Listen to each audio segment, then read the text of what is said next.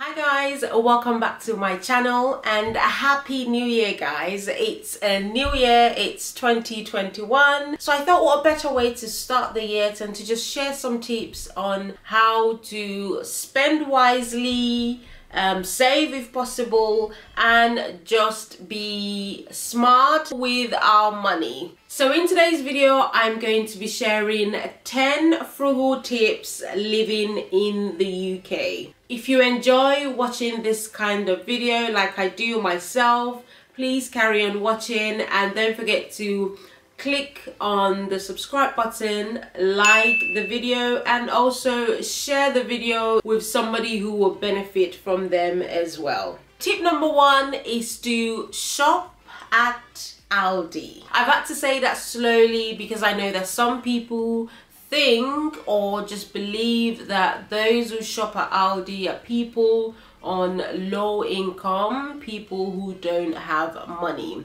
That's absolutely not true. I believe people who shop at Aldi are people who have come to realize that majority of these things come from the same place. I saw an article that somebody found milk that was supposed to be delivered to Aldi in another big store's um, shelf. What does this mean?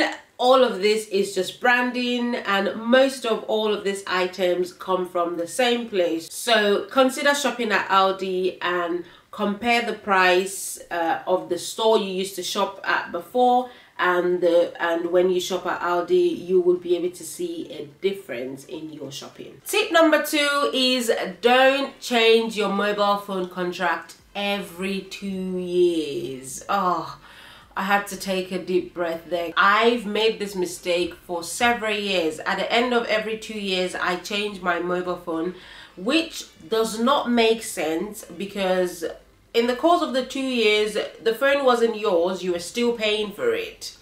But when you've come to the end of the contract and you finish paying for you uh, for the phone and the phone is now yours, that's when we decide, mm, I don't want it anymore. I'm going to get a new one. So last year I realized this was a mistake that I was making and I was wasting a lot of money. Majority of the time, nothing's wrong with the phone. It's just because it's come to the end of the two years and I feel like I need to get a new phone. No, we don't need to get a new phone. As long as the phone can still send message, send a text, um, browse the internet, do what I would um, be doing with the new phone I want to get. Then I don't need the new phone. I can still use my phone. Tip number three um, relates to tip number two, which is to go SIM only. This will save you a massive amount of money. This will save you a lot of money. So for example, for your mobile phone contract, you could be paying say 50 pounds 35 pounds or thereabout.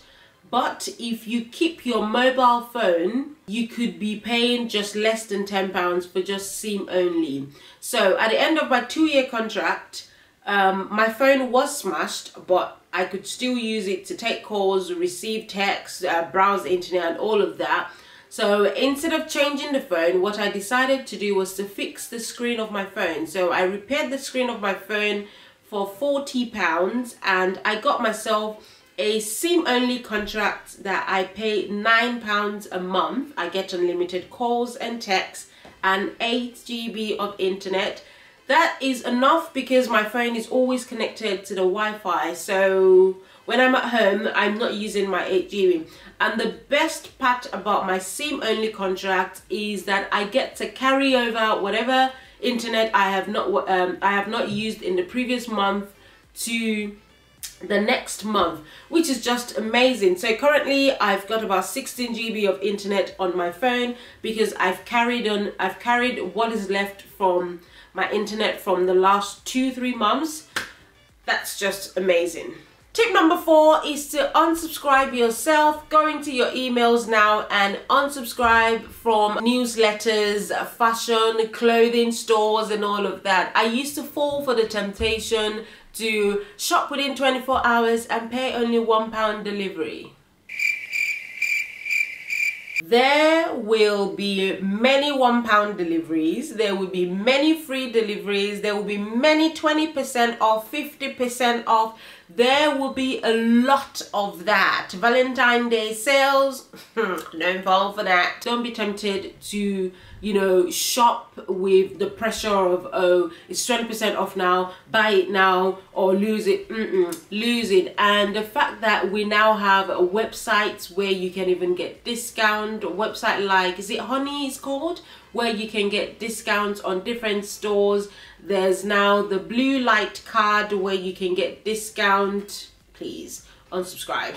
If you've watched up to this stage, can I ask you to please click on the subscribe button, like this video and share it as well with somebody who would benefit from some of these tips. So tip number five, if you shop for more than one person, if you grocery shop for more than one person, consider getting yourself a bigger fridge or freezer that would help you reduce the amount of time you have to go to the store also would help you to be able to cook in bulk and store in the fridge or freezer and you don't have to necessarily cook every single day of the week. I used to have a small fridge and this used to make me go to the shop like twice a week and then I would fall into the temptation of having to pick unnecessary things that I do not need but since getting myself a bigger fridge and freezer I only sometimes go to the shops just once in two weeks or at most once every week. Tip number six is to consider buying second-hand furnitures. So instead of going out to buy the brand new furniture that will cost you £250 to 399 to a thousand pounds, consider buying it second-hand. Yes, there are some furnitures that I would not buy second-hand personally and that's just a personal thing. For me, anything that has a soft finishing so my sofas my mattress I would not buy that secondhand but things like your TV stand your bookshelves um, TV cabinet I will definitely consider buying that secondhand and you can get them for as low as 25 pounds to 50 pounds. Tip number seven is don't have a bank account that has overdraft. This way you would be forced to live within your means. Having an overdraft is just a way of tempting yourself um, to spend money that you don't have. Having an overdraft is like a temptation. If you don't have it and you know that it's not there, you would be forced to spend just what you have but sometimes we can fall for the temptation of oh I would use my overdraft and I will pay back by the end of the month by the end of the month you probably don't have that money and then you will have to pay all of that interest. So consider getting yourself a bank account that doesn't have an overdraft. Tip number eight is to stop buying carrier bags. As we know carrier bags used to be free and now they're no longer free. You get you pay 5p 10p 20p 59p depends on the size of the carrier bag um, if you keep having to buy carrier bags sometimes in one shopping you're probably using like say eight of them. If you keep having to buy that that's just a waste of money that you don't need and also you're not helping the environment as well.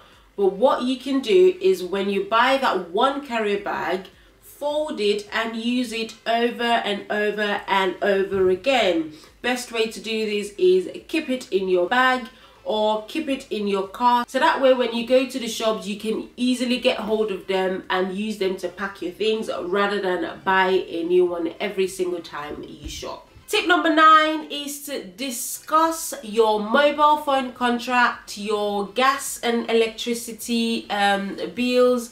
Discuss most of these bills that you can discuss. For example, when I had my two-year mobile phone contract, I, at the beginning of it, I was paying 47 pounds and by the end of the two-year contract, I was paying 31 pounds so what i do or when i what i used to do when i got when i had the mobile phone contract is when i get the phone i do understand that it's a brand new phone it's just come out so the price is high. So i will take it.